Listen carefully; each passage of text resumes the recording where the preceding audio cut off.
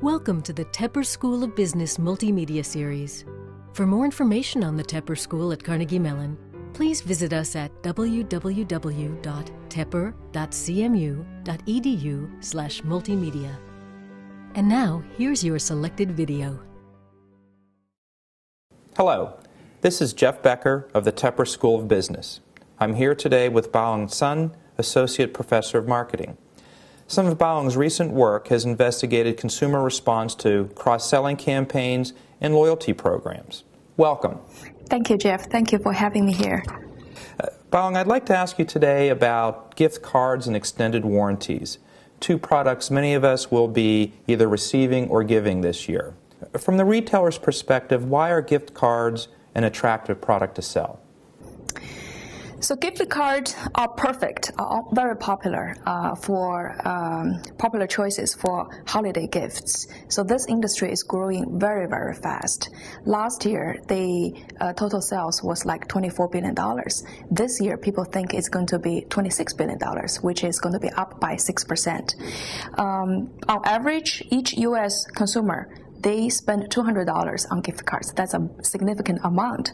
Um, so this industry is growing very fast uh, because of at least three reasons. First is that the wider distribution.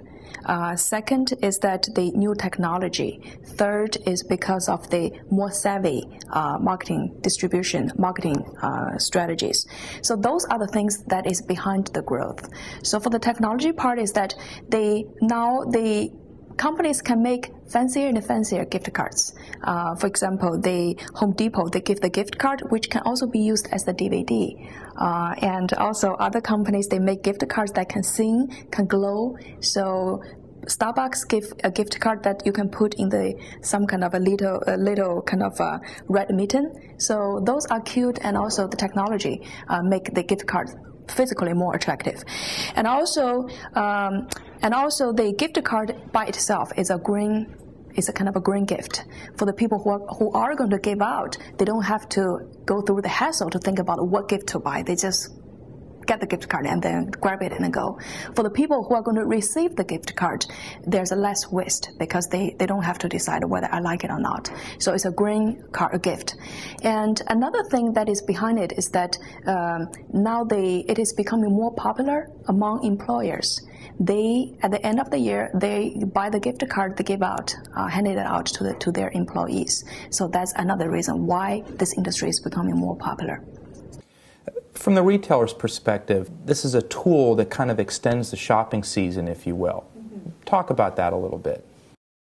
Yeah, we did some research uh, to study consumers' purchase behavior. We compare consumers who pay using cash versus and also credit card versus consumers who pay using gift card. So we got some fascinating result, some very interesting result. First, we found that for the people who are shopping for gift, there's less impulse buy. So before I have to rush to the store to buy something before the season, so I say something on promotion I think it's going to be good for my uh, as a gift, I buy it. So there are a lot of kind of uh, irrational or kind of uh, impulse buy, but not anymore with the gift card. Now they just they are very cool. They just go buy whatever they need for themselves and then grab the gift card. So the people who have the credit card, uh, who have the gift card, they can take time to do the to the to do the shopping. So this means that the holiday season could be much longer. So they do the shopping maybe not only in November and December, but also in January and maybe February. Uh, so this means that for the retailers, January is no longer a dead month. So they can, many people, they have gift card, they show up and then they start to do shopping. Uh, and thirdly, we found that consumers who use gift card to pay, they tend to purchase more expensive products and newer products. So, and the fourth thing we found is that when people use gift card to pay, they not only spend everything on the gift card, but they purchase more. So there's a great opportunity for retailers to cross-sell other products. So all these findings has important implications for the marketing strategies for retailers. Their promotion pricing strategy may work before during the holidays, but maybe less effective now with the gift card. Uh, secondly, before the uh, uh, before the gift card, the retailers they think January is the dead month. They usually they do the inventory, so they get ready. Uh, they put more new products in on the shelf during the holidays, or maybe uh, way after the holidays during February or March get ready for the spring, but not anymore because people are shopping during January also. Now a lot of new and fancy products are actually introduced in January instead of the holiday seasons. Let me turn to now as a consumer, someone who might get a gift card uh, during the holidays. What cautions should we be aware of when we're receiving a gift card? How, how should we use it? Uh, and, and what should we pay attention to? Mm. So, gift card, there are still a lot of things the consumers need to pay close attention. So, uh, first thing is that they have to read the little words uh, behind all the terms and uh, conditions. Uh, pay attention to find out do you have to pay when you purchase?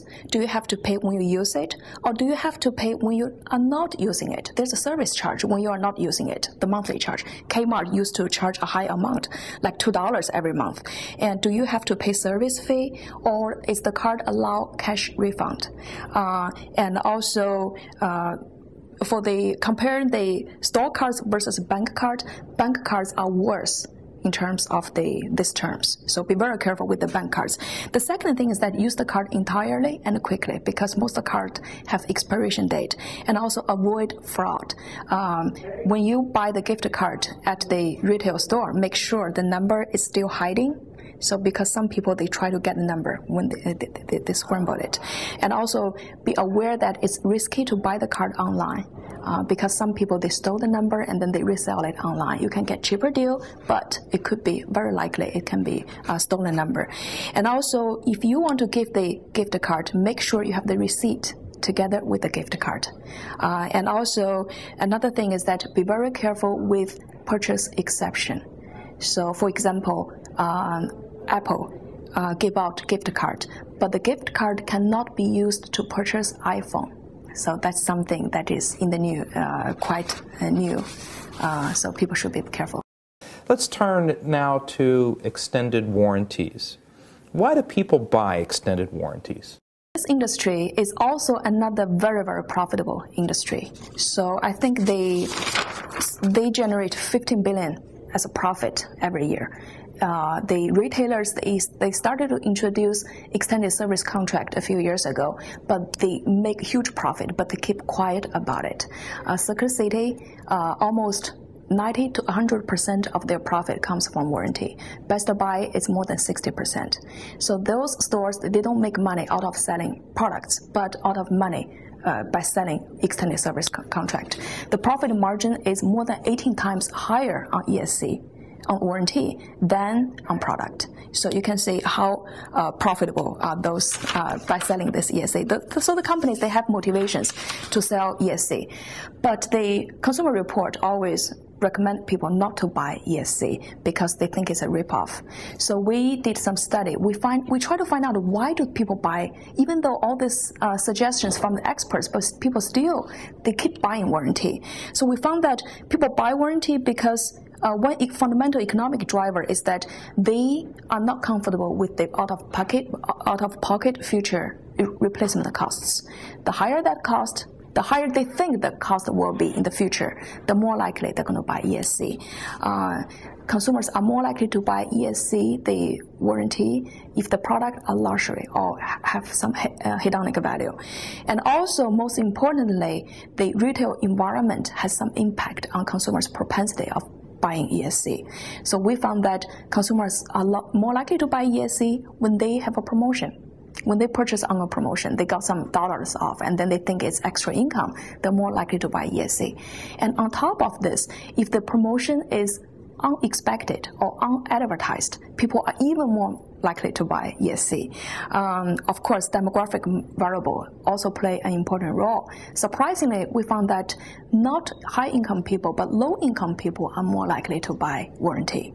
Uh, men and women, they are similar. Women are more risk averse because warranty is an insurance product. But in the same time, they are more price sensitive. So at the end, it's uh, by looking at numbers, men and women, they buy warranty at the same frequency.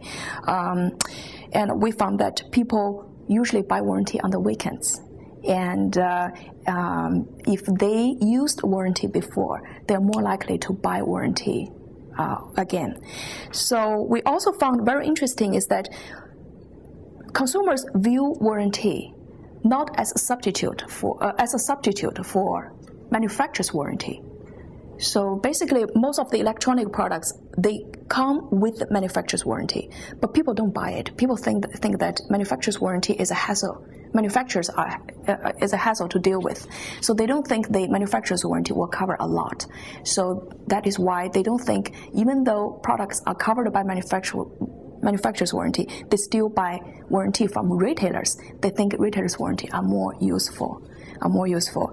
Uh, we also found a service component of the warranty offered by retailers, offered by the retailers, because um, once they purchase warranty for other products, they use it, they develop the relationship with the retailer when they go back to the retailer, enjoying the service, and then in the future, they're more likely to buy the warranty on other products, but from the same retailer. They're also more likely to go back to the warranty to purchase more products. So they add a service component. Now, you mentioned that uh, many consumer uh, advice uh, magazines, publications have, have really advised people to not buy these things. Uh, the extended warranties are kind of unnecessarily padding the retailer or manufacturer's bottom line and, and really not helping the consumer. But that may be changing according to some of your research. What's driving that change? The offer of the warranty is that they say that I cover the major breakdown, but I don't cover the small breakdown. So there's a kind of a mental game that is playing uh, around. So that is why uh, the consumers they don't come up with the accurate assessment. So it is kind of and plus they offer the, the retailers they don't cover the small breakdowns those situations. So that uh, shows that it is kind of a breakdown for the consumers. But things are changing uh, because now before only Best Buy or retailer, uh, Best Buy or Circuit City offer warranty, but now because other all the other retailers they realize it's a very profitable business, they all jump in and offer their own warranties. Like Walmart, before they refused to offer warranty, now they're changing their mind. Target, now they offer very good warranty. And also independent parties who don't sell, who are not retailers, who don't sell electronic products, they also offer warranty. So the question here is that things are changing because the market is becoming more and more competitive. So one advice to the consumers is that shop around. You don't have to buy the warranty from the place that you purchase the product. Go shop around. A third party can offer better coverage. Shop around and get a better deal. Competition always works for consumers.